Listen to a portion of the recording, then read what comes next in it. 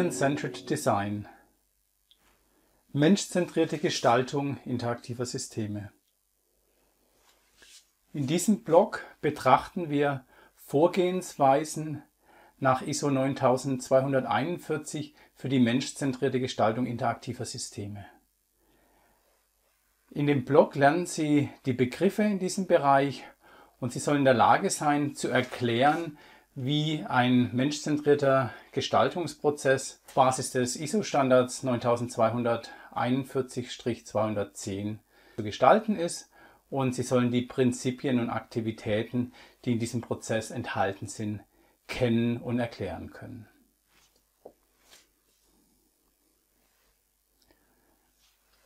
Wir sehen in der Literatur den Begriff Benutzerzentrierung, User-Centered Design und Menschzentrierung, Human-Centered Design.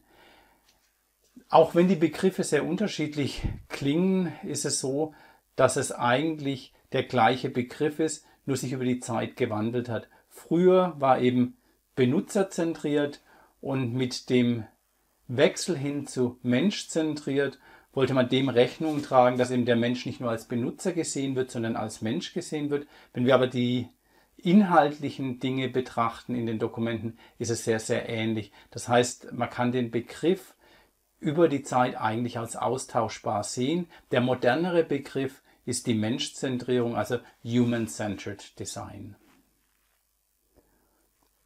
Wenn man jetzt eben an Standards, an DIN-Normen, an ISO-Standards denkt, dann kommen mir zuerst Schrauben in den Sinn. Und ich habe hier ein Buch, das habe ich, wie ich in der Berufsschule war, gehabt, Tabellenbuch Metall. Und da sind ganz viele Tabellen drin. Und solche Bücher, das sind für mich eigentlich Standards. Da wird festgeschrieben, wie was auszusehen hat. Also wenn eine Schraube, eine M8er Schraube, die ist genau beschrieben, wie groß das Gewinde ist, wie die Steigung des Gewindes ist. Und der Vorteil von einem Standard ist, egal wer die Schraube fertigt, sie passt in die Mutter rein. Und das ist der Hintergrund, warum Standards gibt. Die Möglichkeit, was festzuschreiben, dass eben nicht nur einer das bauen kann, sondern dass wir eben Sachen austauschbar bauen können, dass wir Sachen von einem Hersteller mit Sachen eines anderen Herstellers kombinieren können, dass wir eine gewisse Sicherheit haben, wenn jemand das entsprechend dem äh, Standard, entsprechend der Norm baut, dass es eben einen gewissen Qualitätsanspruch hat. Der Standard, den wir hier betrachten für die menschzentrierte Interaktion, ist ein bisschen ein anderer Standard. Der beschäftigt sich mit der Beschreibung eines Prozesses. Also hier wird erklärt, was die Vorgehensweise, was die Aktivitäten sind, um benutzbare Systeme zu erreichen. Nichtsdestotrotz ist es ein Standard, der häufig auch in Pflichtenheften festgeschrieben wird, dass man eben sich verpflichtet als Firma, sich an diesen Standard zu halten in der Entwicklung äh, von einem System von User Interfaces.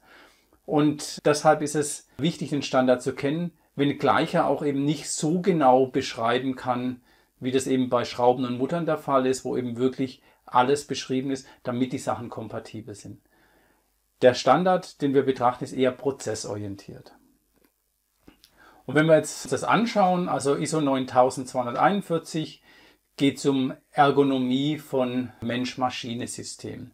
Und der Standard hat eine große Anzahl von Teilen. Ich habe jetzt hier mal so einige aufgelistet. Es gibt eine Einleitung dazu. Dann gibt es einen Teil, der beschreibt, was sind die Anforderungen an visuelle Displays, was sind die Anforderungen an Eingabegeräte, wie zum Beispiel an die Tastatur. Und dann in dem nächsten Block gibt es, was sind Dialogprinzipien, äh, wie sollen Interfaces fürs World Wide Web aussehen äh, und eben auch, wie sollen benutzerzentriert, menschzentriert Systeme designt und umgesetzt werden. Jetzt ist es so, im Maschinenbau, in der Elektrotechnik sind Standards was, was eine sehr lange Tradition haben. In der Informatik ist es so, dass sehr häufig Firmen quasi Standards schaffen, indem sie ihre Marktmacht nutzen, um eben neue innovative Produkte zu bringen. Und daher ist in der Informatik so der Rückgriff auf Standards, was, was nicht den hohen Stellenwert hat wie im Maschinenbau oder in der Elektrotechnik. Nichtsdestotrotz ist es so, dass wir häufig in einem kommerziellen Umfeld uns an Standards halten müssen oder an Standards halten wollen, weil die eben Teil des Vertrags sind.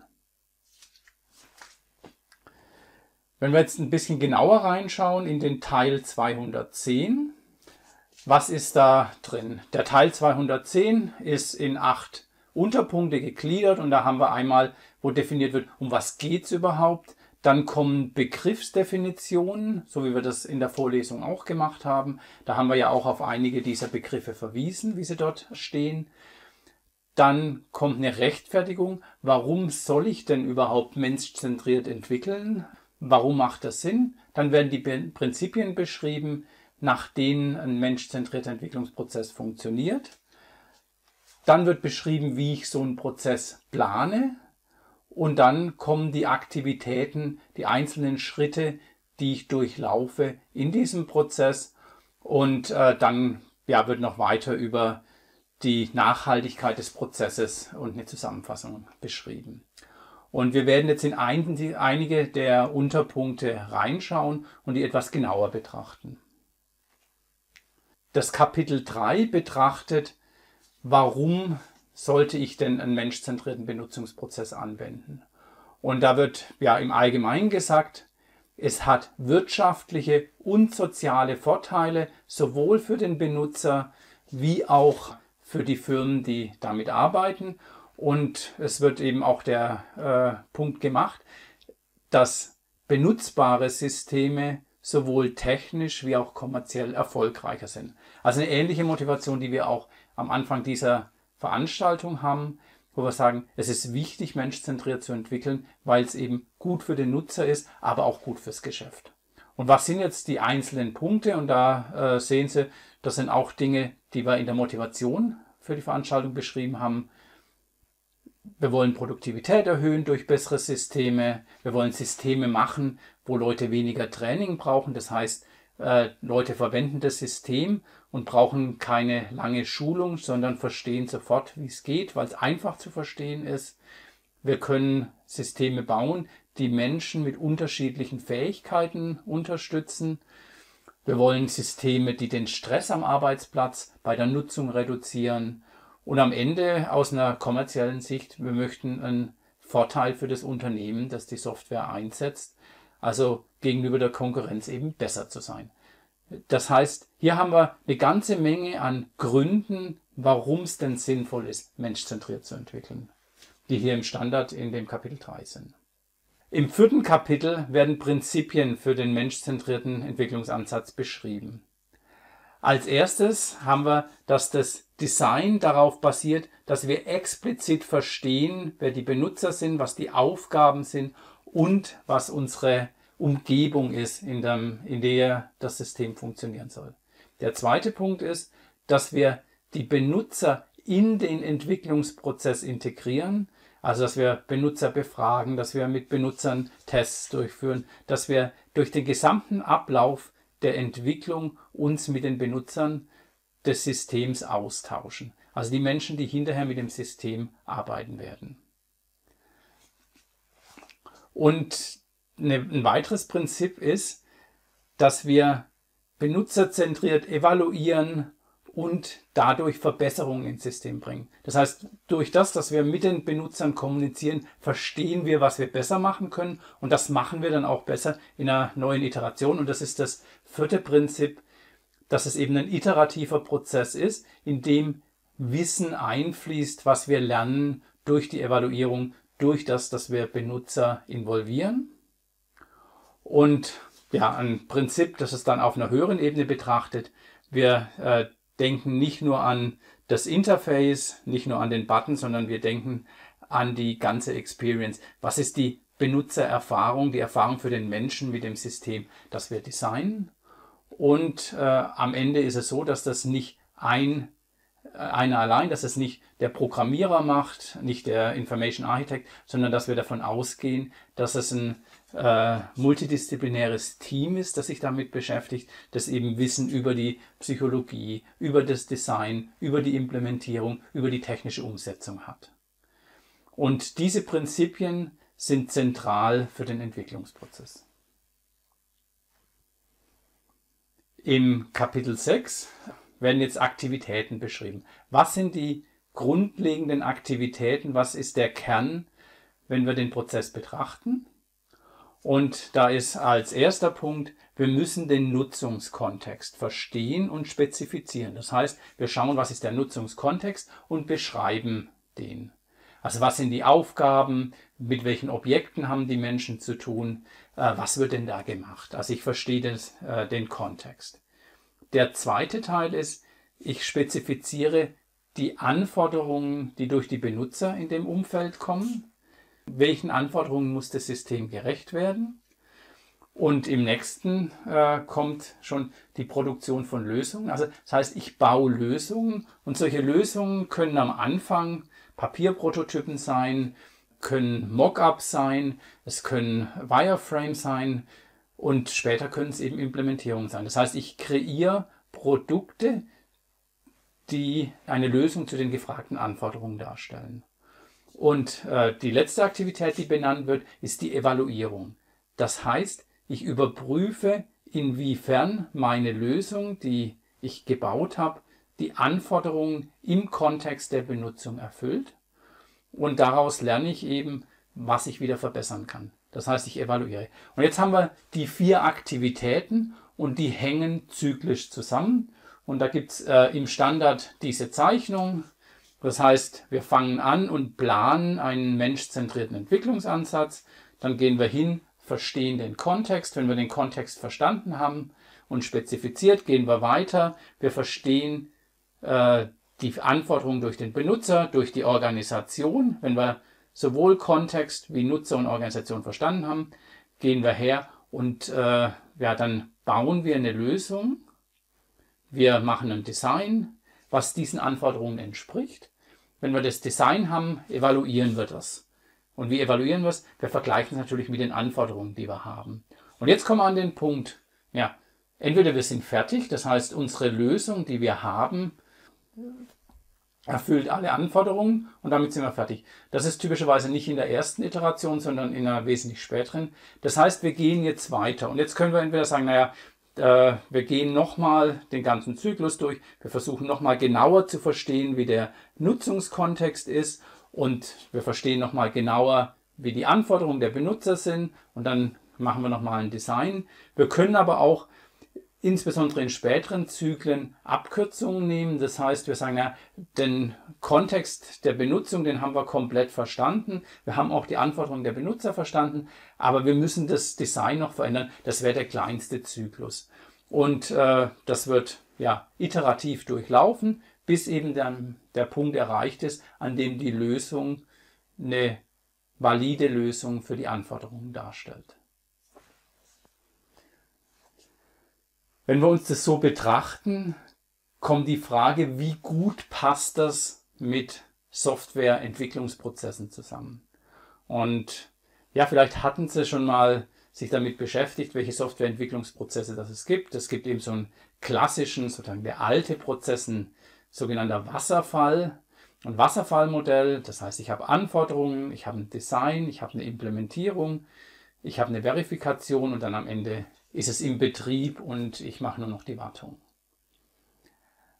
Das funktioniert für bestimmte Dinge, häufig in der Realität aber sehr schwierig, weil natürlich das nicht so ja, einfach schrittweise verläuft. Was wir heute häufig sehen, sind sogenannte agile Prozesse.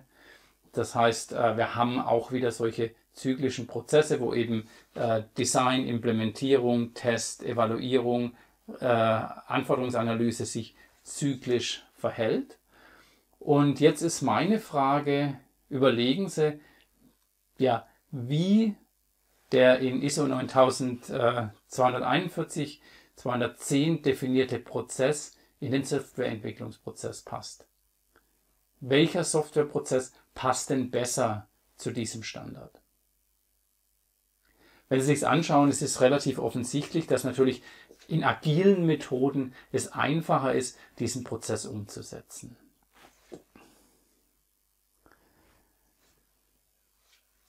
Wenn wir es jetzt nochmal betrachten, den äh, Entwicklungsprozess und wie in der Realität implementiert ist, was wir dann manchmal sehen, ist, dass man versucht, den Konzept- und Interaktionsdesign-Prozess von der technischen Realisierung zu trennen. Das geht in bestimmten Bereichen und äh, man spricht dann eben von schnellen Iterationen im Konzept und Interaktionsdesign, wo man eben an einem Tag eine ganze Menge an Iterationen hat.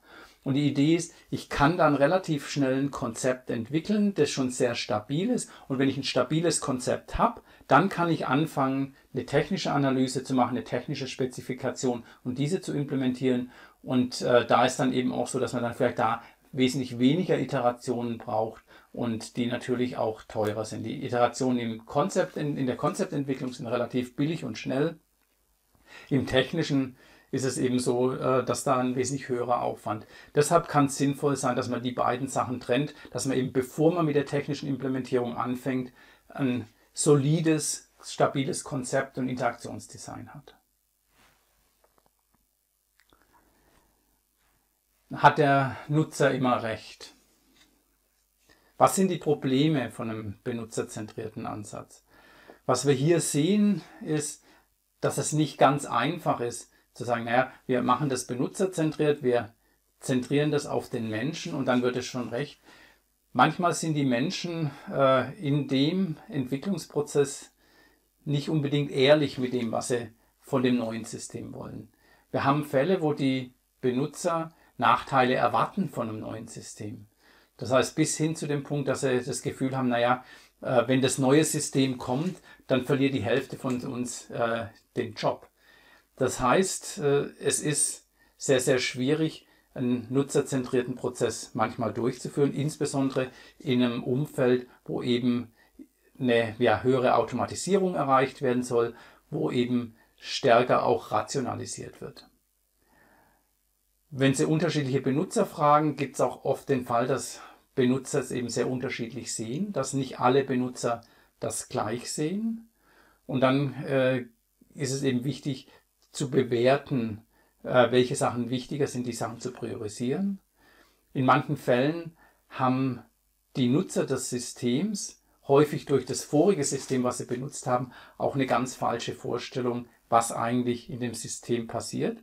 Und äh, das in das äh, Design mit einzubringen, ist eben wichtig zu verstehen, welche Aussagen der Benutzer vielleicht auf dem vorigen System oder auf Prozessen die dann vielleicht auch umgestellt werden, basieren. Und äh, der letzte von den Punkten ist natürlich sehr ähnlich wie der erste. Ganz häufig ist es so, dass Benutzer, die sich an ein System gewöhnt haben, nicht möchten, dass dieses System geändert wird, weil natürlich die Sorge ist, dass ein neues System wieder einen höheren Lernaufwand, einen höheren Aufwand für die Nutzer bedeutet. Und wenn wir jetzt in ein Umfeld schauen, in einem Firmenumfeld, in einem wirtschaftlichen Umfeld, ist es eben häufig so, dass es eine, dass es Ziele des Unternehmens gibt, die mit der Software erreicht werden sollen. Ganz häufig Rationalisierung, mehr Effizienz und dass die nicht unbedingt mit dem einhergehen, wenn ich es optimal für den Benutzer designe. Und äh, das geht bis hin zu der ethischen Frage, äh, ja, für wen designe ich Design ich für den Auftraggeber, der sagt, ich möchte eine höhere Effizienz, oder design ich äh, für den Mitarbeiter, der am Ende das System äh, nutzt. Und da ist es eben so, es gibt Trade-offs und was wichtig ist, dass man die eben wirklich explizit macht und dann eben äh, sich auf die Seite des Nutzers stellt, aber gleichzeitig auch argumentiert, warum eben im Großen und Ganzen für den Menschen zu designen die bessere Lösung ist, wie nur auf Effizienz zu achten. In dem Standard wird auch noch angesprochen, dass es eben multidisziplinär ist, dass wir Menschen mit unterschiedlichen Fähigkeiten zusammenbringen, um ein Produkt zu haben. Und häufig ist das, dass Leute aus dem Design, äh, aus den Wirtschaftswissenschaften, aus der Informatik, aus dem Marketing, aus der Verwaltung zusammen sind, um ein Produkt zu machen. Und die haben durchaus unterschiedliche Ziele. Typischerweise haben natürlich alle das Ziel, ein super Produkt zu machen, aber auf dem Niveau, ja, wie sieht jetzt das Design aus oder was muss das können, was muss es nicht können, gibt es durchaus unterschiedliche äh, Ansichten und das ist sehr schwierig, das zusammenzubringen. Und häufig ist es auch so, dass die Kommunikation zwischen den verschiedenen Fächern nicht ganz einfach ist, weil natürlich äh, Leute im Design auf andere Dinge Wert legen, wie Leute, die eine Implementierung machen, Leute im Marketing wieder auf andere Sachen Wert legen. Und häufig sind selbst die Begriffe, die verwendet werden, nicht die gleichen, äh, weil sie eben aus der Perspektive eines Fachs betrachtet werden. Und äh, es ist zentral, wenn man Benutzungsschnittstellen baut, wenn man System, interaktive Systeme baut, im interdisziplinären Team zu arbeiten. Und das ist eine Fähigkeit, die man lernen kann. Und äh, da gehört sehr viel Zuhören dazu. Aber es ist eben auch was, was man üben muss, mit äh, Leuten aus anderen Fächern zusammenzuarbeiten. Abschließend sind hier noch einige Fragen äh, zu dem Blog, insbesondere zu dem Standard. Äh, schauen Sie, ob Sie die beantworten können.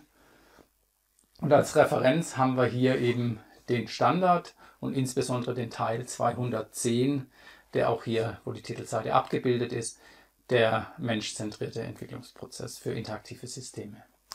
Und damit bin ich am Ende von dem Blog und bedanke mich bei Ihnen.